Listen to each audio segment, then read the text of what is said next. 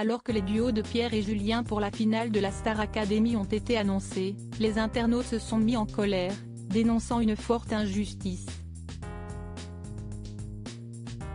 Sur la toile, ils n'ont d'ailleurs pas manqué d'exprimer leur mécontentement. Le compte à rebours est lancé, avant la grande finale de la Star Academy. Ce samedi 3 février, les téléspectateurs de TF1 devront décider qui de Julien ou de Pierre sortira vainqueur de cette promo 2023 qui a fait l'unanimité. Au fil des semaines, les aficionados de l'émission se sont attachés aux élèves, une affection qui a rendu les départs de plus en plus difficiles à vivre. Les fans se souviennent notamment du départ de Clara, qui n'a pas réussi à décrocher son ticket pour la tournée.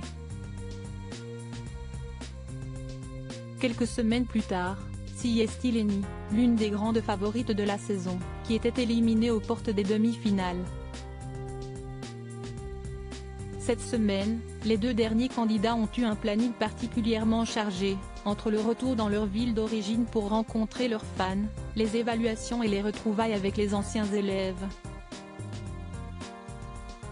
Ce mercredi 31 janvier, les ex-académiciens, excepté Lenny, sont en effet revenus au château pour dîner avec les finalistes et clôturer ce chapitre de leur vie comme il se doit.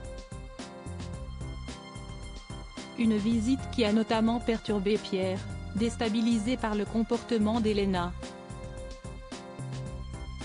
Axel lésé par la production Les internautes furieux alors que Lucie et Marlène annonçaient un peu plus tôt aux deux finalistes le programme du prime, les internautes ont été particulièrement agacés par une nouvelle inattendue.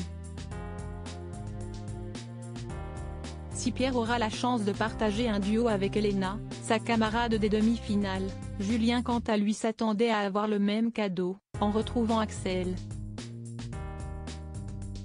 mais les répétitrices lui ont finalement annoncé qu'il partagerait une chanson avec Clara, avec qui il s'était retrouvé en binôme au début de l'aventure. Un choix qui a laissé de nombreux fans perplexes et surtout très agacés de voir Axel mis de côté. Donc Pierre va chanter avec Elena, Julien avec Clara lors de la finale, c'est très bien mais ce n'était pas Axel l'autre demi-finaliste. Ça confirme juste ce qu'on dit depuis des semaines, encore une fois, même si je pense que Julien et Clara vont bien chanter lors de la finale.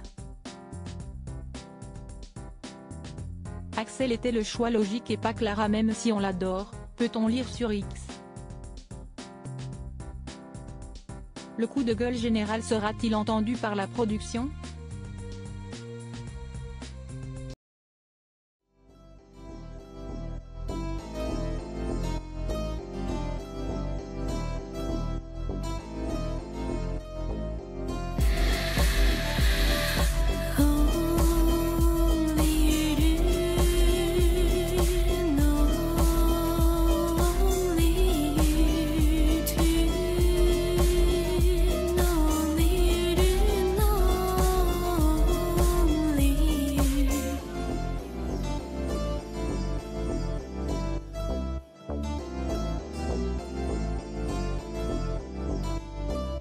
You.